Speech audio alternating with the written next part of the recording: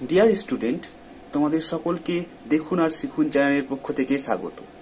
আজকে আমরা WB class নাইনের অঙ্ক বইয়ের ওপর প্রথম ক্লাস শুরু করব। এখানে আমরা প্রথমে প্রথম চ্যাপ্টার বাস্তব সংখ্যা এবং তার ভাগগুলি সম্পর্কে ডিটেলসে জানব এবং এখান থেকে কি ধরনের প্রশ্ন আসতে পারে সেগুলিও দেখে নেব। এর পরের ভিডিওতে আমরা কোষে দেখে এক দশমিক এক এর অঙ্কগুলি করব এবং বুঝব। তো চলো শুরু করি। প্রথমে আমরা জেনে নেব বাস্তব সংখ্যা বা রিয়েল নাম্বার কি। বাস্তব সংখ্যা বা রিয়েল নাম্বার হলো সেই সমস্ত সংখ্যামালা, যেসব সংখ্যামালা আমরা গণিতের ক্ষেত্রে ব্যবহার করি। গণিতের ক্ষেত্রে যে সমস্ত সংখ্যায় ব্যবহার করা হয়, সে সমস্ত সংখ্যায় বাস্তব সংখ্যার মধ্যে পড়ে। আমরা উদাহরণের সাহায্যে জেনে নেব যে কোন কোন সংখ্যাগুলো আমরা ঠিক গণিতের সাহায্যে ব্যবহার করি। যেমন এই ঋণাত্মক সংখ্যা। ঋণাত্মক সংখ্যা। যেমন কি minus one minus two minus three minus four এই ধরনের যে অসংখ্য সংখ্যা আছে ঋণাত্মক সংখ্যার, সেই সংখ্যাগুলো আমরা ব্যবহার করি। ধনাত্মক সংখ্যা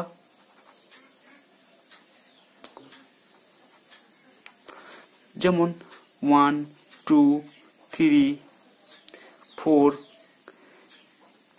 এই অসংখ্য যে ধনাত্মক সংখ্যা আছে, সেই সংখ্যাগুলো আমরা ব্যবহার করি গণিতের ক্ষেত্রে। তিন নম্বর হচ্ছে শূন্য। এই শূন্য সংখ্যাটাও আমরা গণিতের ক্ষেত্রে ব্যবহার করি। আবার কি ব্যবহার করি? ভগ্নাংশ সংখ্যা। যেমন একের দুই, চারের পাঁচ, তিনের পাঁচ, এই যে অসংখ্য ভগ্নাংশ সংখ্যা আমরা গণিতের ক্ষেত্রে ব্যবহার করি। সেই সংখ্যাগুলো বাস্তব সংখ্যার মধ্যে পড়ে। এছাড়া আছে দশমিক ভগ্নাংশ সংখ্যা, যেমন এক দশমিক দুই, তিন দশমিক পাঁচ। এই যে দশমিক সংখ্যাগুলো আমরা ব্যবহার করছি, সেগুলো বাস্তব সংখ্যার মধ্যে পড়ছে। এছাড়া আছে রুট ওভার সংখ্যা, root over two, root over three, root over four. এই যে রুট ওভারের সংখ্যাগুলো আমরা ব্যবহার করি গণিতের ক্ষেত্রে। এই যে এই সমস্ত সংখ্যা আমরা ব্যবহার করি, এছাড়াও আছে যেমন পাই। এই পাই আমরা জ্যামিতির ক্ষেত্রে ব্যবহার করি। তাহলে এই যে সমস্ত সংখ্যা আমরা ব্যবহার করছি, সেই সমস্ত সংখ্যাই হচ্ছে বাস্তব সংখ্যা। এছাড়া আরও অনেক সংখ্যা এর, এই মধ্যেই আছে। তো আশা করি বাস্তব সংখ্যা ব্যাপারটা ক্লিয়ার হয়েছে। এবার আমরা দেখে নেব যে বাস্তব সংখ্যার কয়টি ভাগ। বাস্তব সংখ্যাকে সাধারণত দুটি ভাগে ভাগ করা হয়। একটা হচ্ছে মূলদ সংখ্যা এবং অপরটি হচ্ছে অমূলদ সংখ্যা।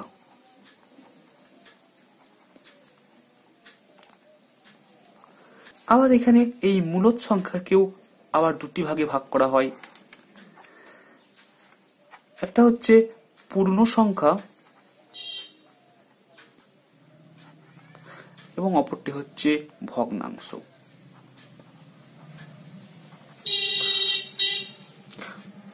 ভগ্নাংশ সম্পর্কে তোমরা অনেককেই পড়েছ।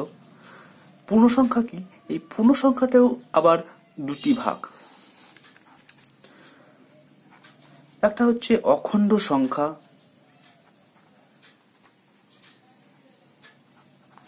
এবং আরেকটা হচ্ছে ঋণাত্মক সংখ্যা।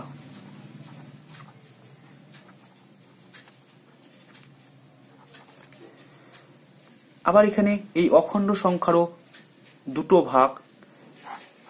একটা হচ্ছে স্বাভাবিক সংখ্যা।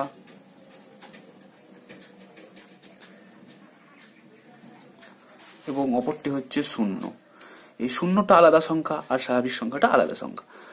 এবার আমরা এই ভগ্নাংশ সংখ্যাটির ভাগ অনেক ভাগ আছে। এই ভগ্নাংশ সংখ্যা সম্পর্কে আমরা তিন নম্বর পার্ট ভিডিওতে শিখব। আমরা এই ভাগগুলি ডিটেলসে জেনে নেব। তো প্রথমে আমরা স্বাভাবিক সংখ্যা থেকে শুরু করি। স্বাভাবিক সংখ্যা বলতে আমরা কি বুঝি? স্বাভাবিক সংখ্যা হচ্ছে আমরা যে গণনার কাজে ব্যবহার করি, সেই গণনার সংখ্যা।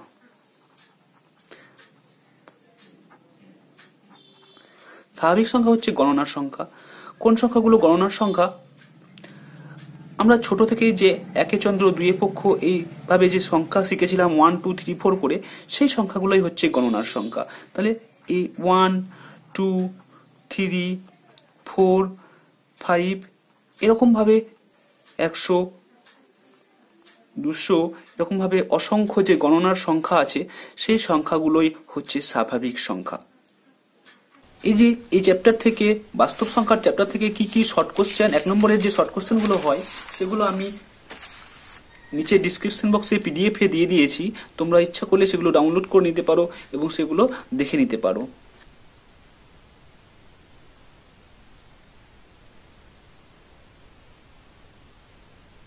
এবার আমরা দেখে নেব যে স্বাভাবিক সংখ্যা থেকে কি কি ধরনের প্রশ্ন হতে পারে। স্বাভাবিক সংখ্যা এখানে একটা প্রশ্ন হতে পারে যে দুটি স্বাভাবিক সংখ্যার যোগফল, গুণফল, ভাগফল বা বিয়োগফল সবসময় কি স্বাভাবিক সংখ্যা হয়?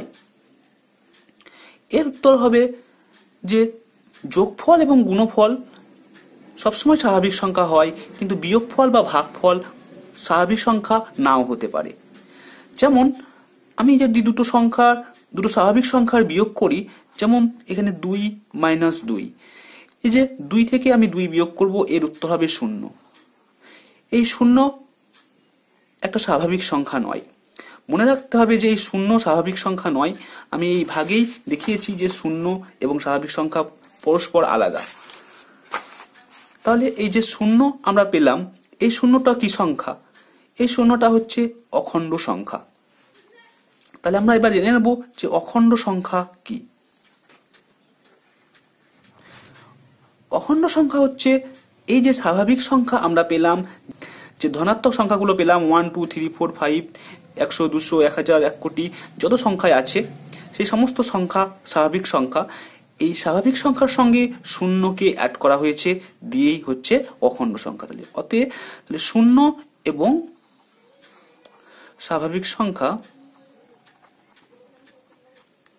স্বাভাবিক সংখ্যা মিলে হচ্ছে মিলে অখণ্ড সংখ্যা। তাহলে স্বাভাবিক সংখ্যার সঙ্গে শূন্য যোগ করে অখণ্ড সংখ্যা হয়েছে। এবার এখান থেকে প্রশ্ন হতে পারে যে দুটি অখণ্ড সংখ্যা যোগফল, বিয়োগফল বা গুণফল বা ভাগফল কি সবসময়ই অখণ্ড সংখ্যা হয়? এর উত্তরও আগেরটার মতোই যে যোগফল এবং গুণফল সবসময়ই অখণ্ড সংখ্যা হয়। কিন্তু বিয়োগফল এবং ভাগফল সবসময় অখণ্ড সংখ্যা হয় না। যেমন, আমরা যদি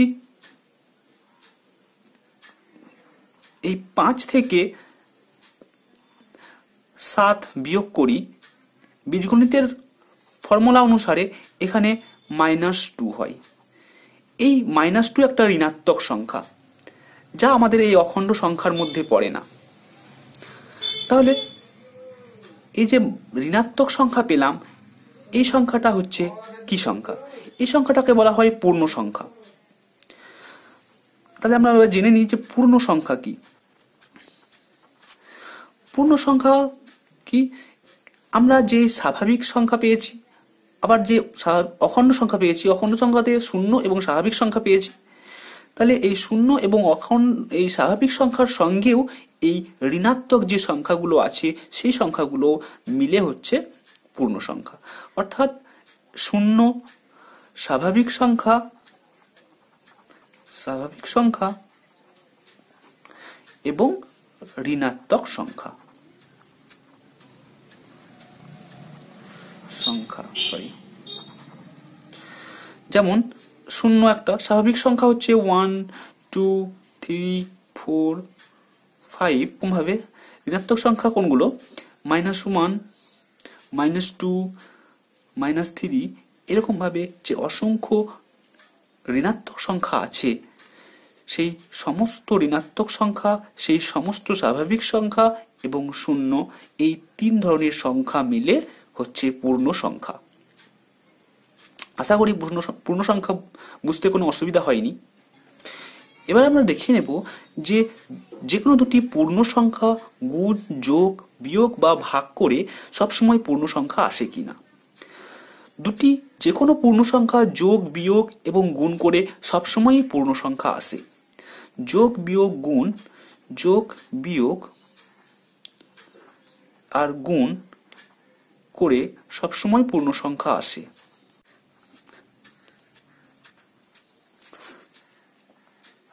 সবসময় পূর্ণ সংখ্যা হয়। কিন্তু যদি দুটি পূর্ণ সংখ্যা ভাগ করা হয়, তাহলে সবসময় পূর্ণ সংখ্যা আসে না।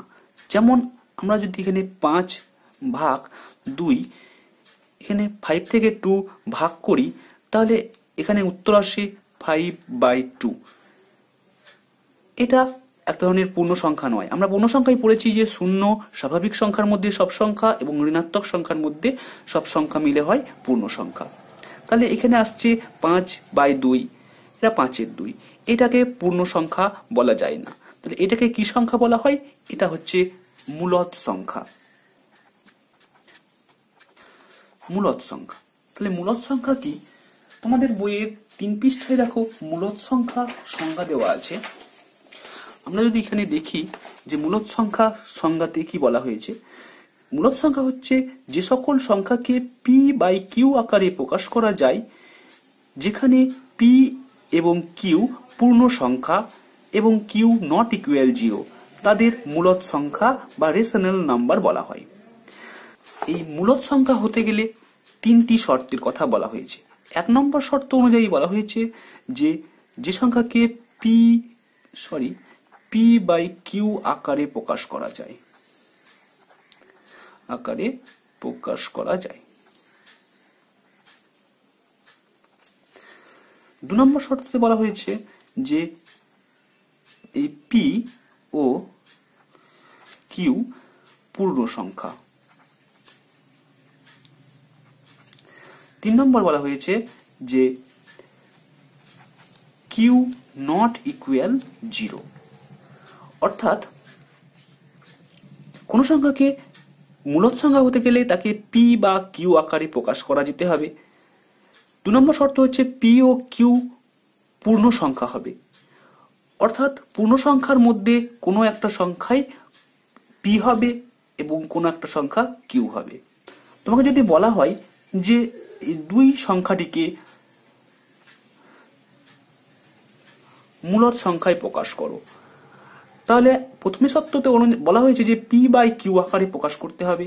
তাহলে আমি যদি এই দুইটাকে পি বাই কিউ আকারে প্রকাশ করি, তাহলে আমি এখানে লিখতে পারি টু বাই ওয়ান দু নম্বর শর্ততে বলা হয়েছে পি ও কিউ পূর্ণ সংখ্যা হবে।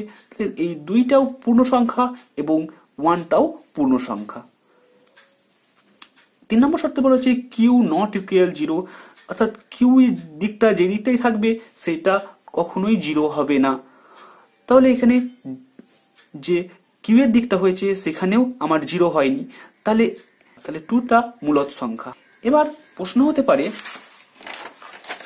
যে, যদি বলা হয় এন একটি পূর্ণ সংখ্যা এন একটি পূর্ণ সংখ্যা, সেটি মূলত সংখ্যা কিনা, বিচার করো।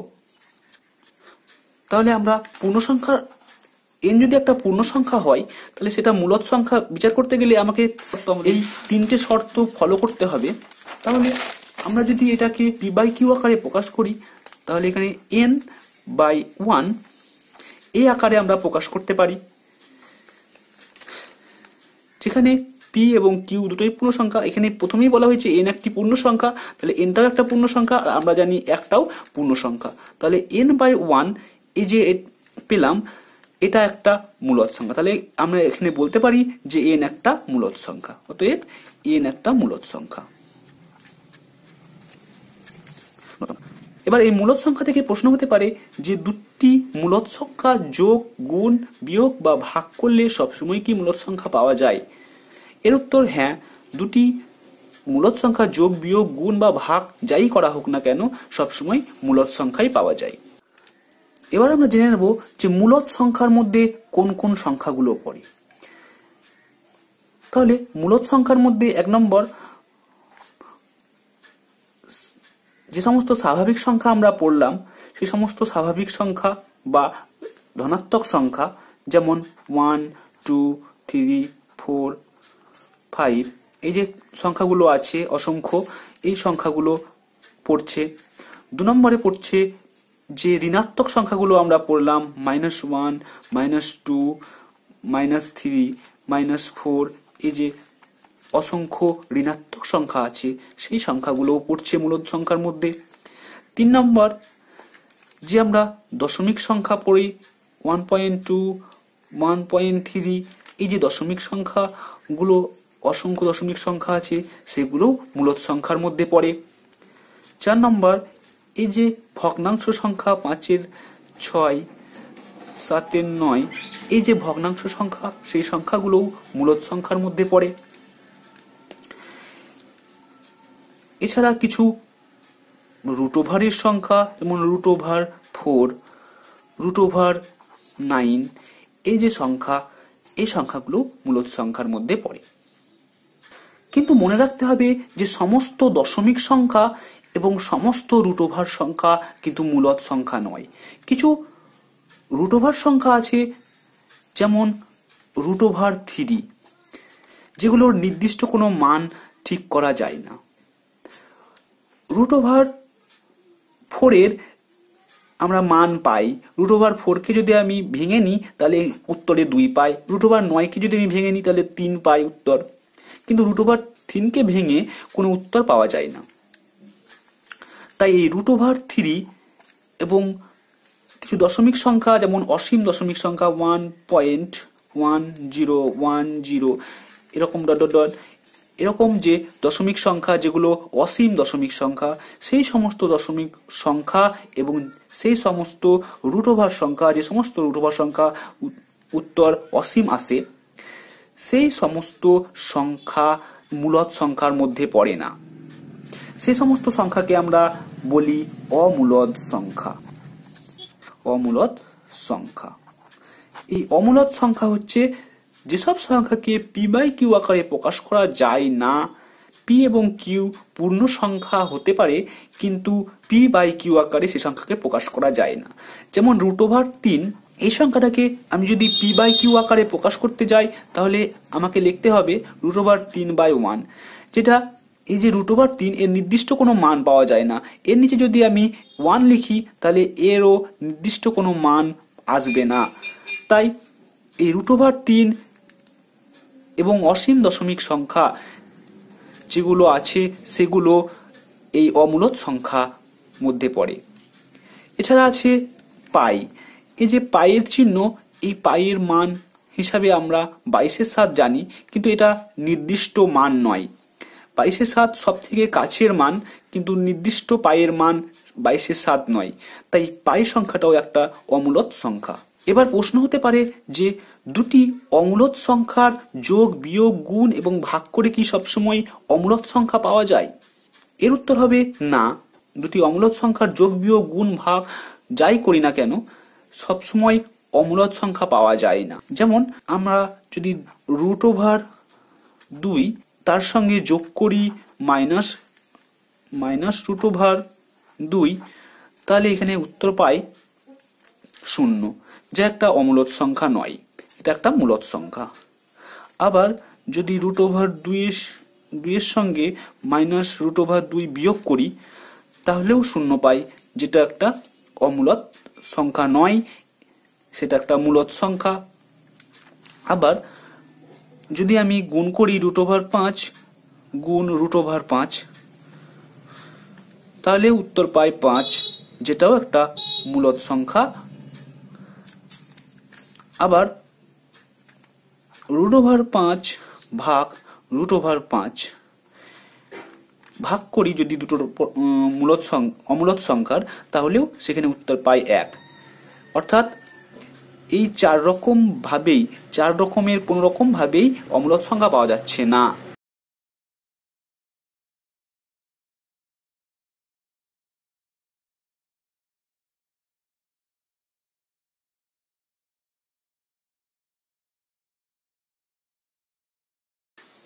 তো আজকের ভিডিওতে এই পর্যন্তই। তো দেখা হচ্ছে পরবর্তী ভিডিওতে। সঙ্গে থাকো, ভালো থাকো। Good bye.